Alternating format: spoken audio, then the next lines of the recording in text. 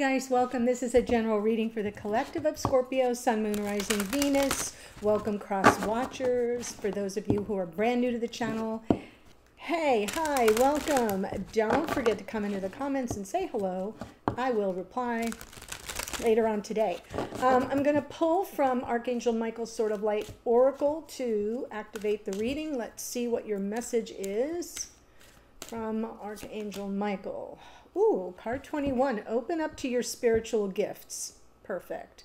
Remember that your true nature is spiritual, not physical. The angels are sending you messages to guide your soul's growth.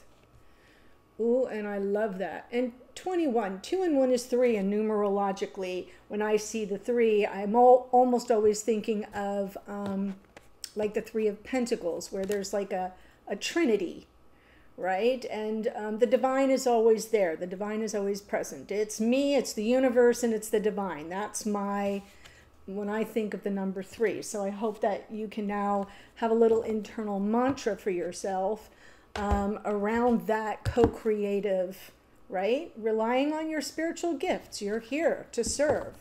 If you're here on this channel or any other tarot channel, um, you're a light worker. That's part of why you're here is you're seeking clarity and information and, you know, ways to um, evolve on your spiritual path.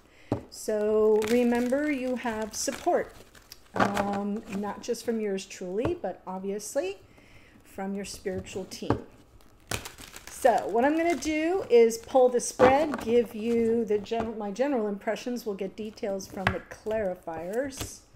Ah, wow, Five of Cups and the Queen of Wands. So something here has happened in the past, obviously, and it's kind of still bugging you out. It's, it's probably got you feeling a bit disempowered since the Queen of Wands is what's crossing here. That's the difficulty. That's the challenge.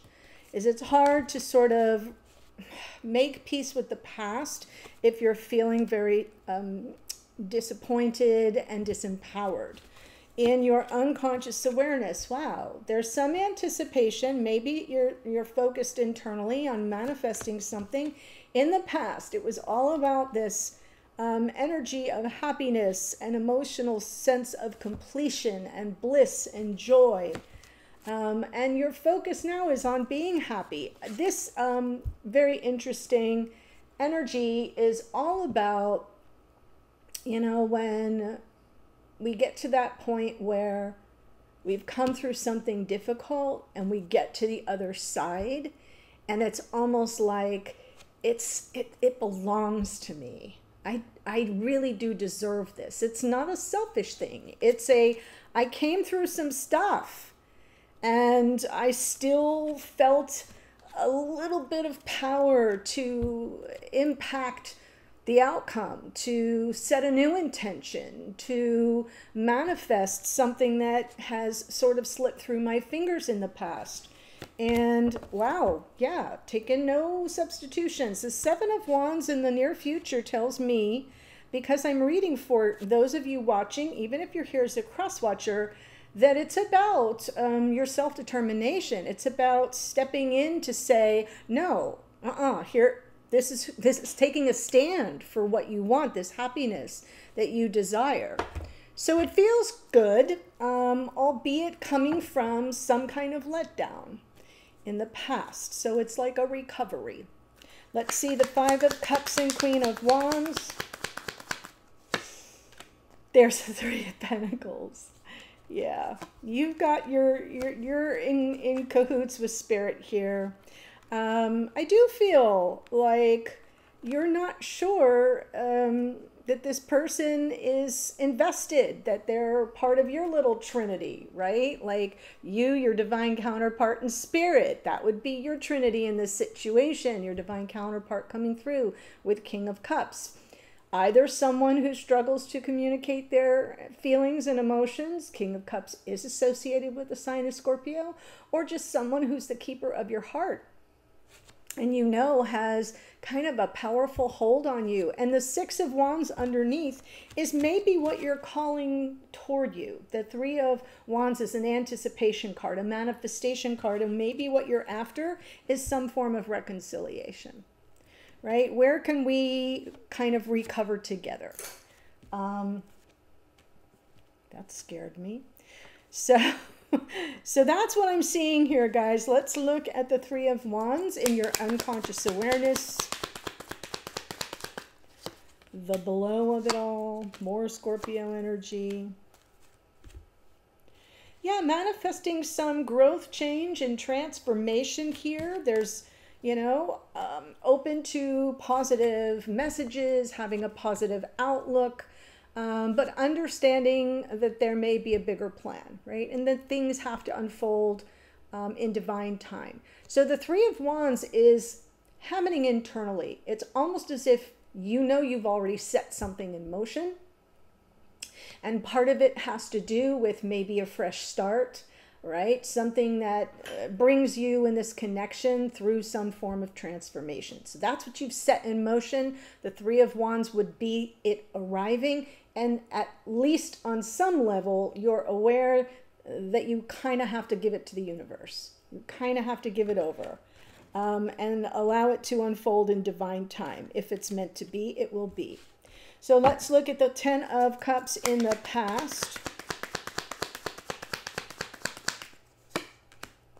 six of swords justice judgment. I feel like you um, you had a rough time and you thought you came back from it with your person, specifically restoring some harmony, some balance, some fairness, getting beyond things, reconciling or reuniting. The judgment card can just come through as second chances at that happily ever after. I think you had it, and then I get the impression that you lost it somehow, somewhere, I'm feeling like you've been through this experience in this connection before. Um, and yet now you're sort of setting the course for maybe a pivot, a shift in your desired outcome in terms of what you're manifesting. So your outlook is changing. That was then, this is now. The sun in your conscious awareness Two of Swords. Yep, absolutely. So, beautiful energy here. Yes, this is my crossroads moment. I get to decide. I have to choose. Now, if I'm going to pivot, what is it that I want? I want to be happy. I want to feel safe and protected in my vulnerability in a connection. And I've learned a lot. The world is Saturn, the great teacher, and the Lord of Karma. And good, goodness knows we often learn lessons the very hardest of ways. So I feel that I'm seeing uh, the setback and a potential attempt at recovery um, because you're shifting your your perspective. You're shifting your outlook. The Page of Swords coming in underneath sort of like, yeah, I'm going to keep my eyes open. This is the little spire detective of the tarot. Um, you know, I'm going to see things as they are, not how I want them to be. I'm constantly picking up clues and cues with your interactions with this person. But with the world card, it's about closing out the difficult cycle. Uh, you know, the past disappointments and preparing for a new beginning. And that's what I think I'm seeing. I feel like this is a cycle that you've been through in this connection um, more than once. And so when that happens, it sort of, um, it knocks us for a loop in a little bit of a way and it feels like you're trying to recover. So let's see the Seven of Wands in the near future.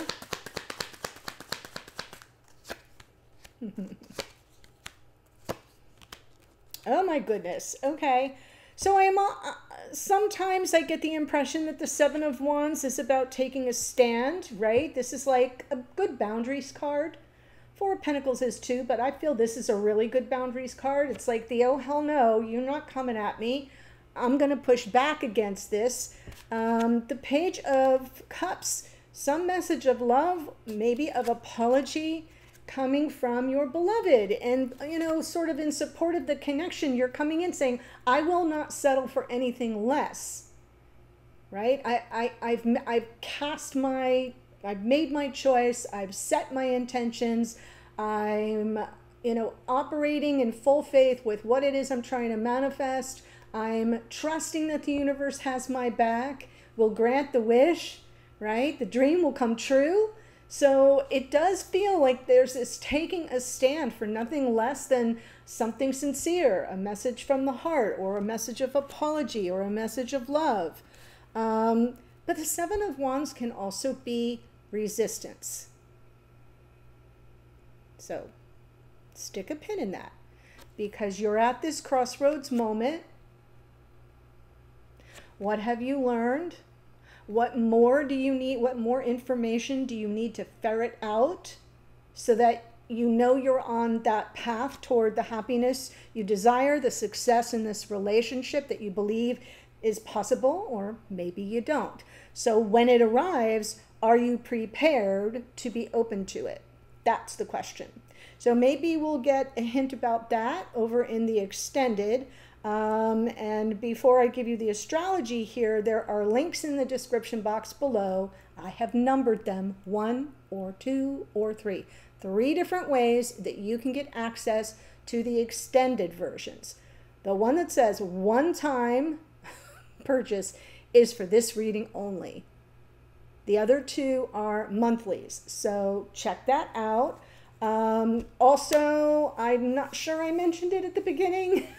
but I do have a special on my private readings for in honor of Lions Gate. That portal opens on July 28th, closes I think around August 12th, but the peak is 8-8 every year. Lionsgate is a powerful energetic manifestation and ascension portal, specifically powerful for twin flame dynamic, soulmate partnerships. So if you've been wanting a private reading, they are $88 off for the month of July. You book in, and then uh, the readings will follow um, second half of July and August. So that's available. Check that out. It's never like I haven't done it for um, that price point in a couple years.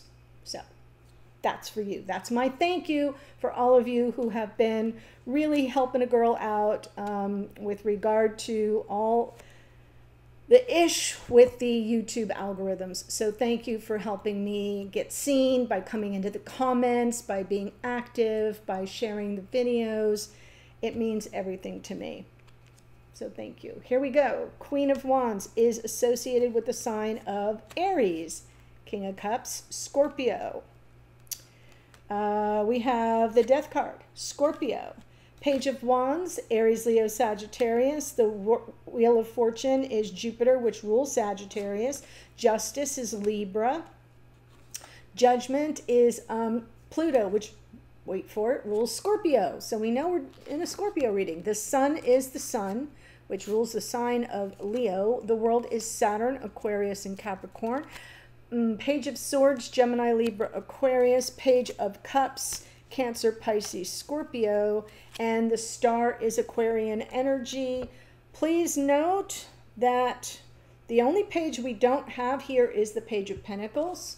Um, and so what I'm feeling here is we're just about ready to take a, a fresh step forward. So I'm seeing the page energy as it comes through in this reading as almost like a reset right? Going back to the beginning, making sure that we're on the same page, that we're talking the same language, and then rebuilding a solid foundation so that whatever this pattern is with disappointments and regrets of the past or mistakes of the past or a sense of kind of moving backwards, um, yeah, so we kind of get moving forward. That's what I have for you. I am headed to the extended now. If you've enjoyed the reading, please subscribe if you haven't already.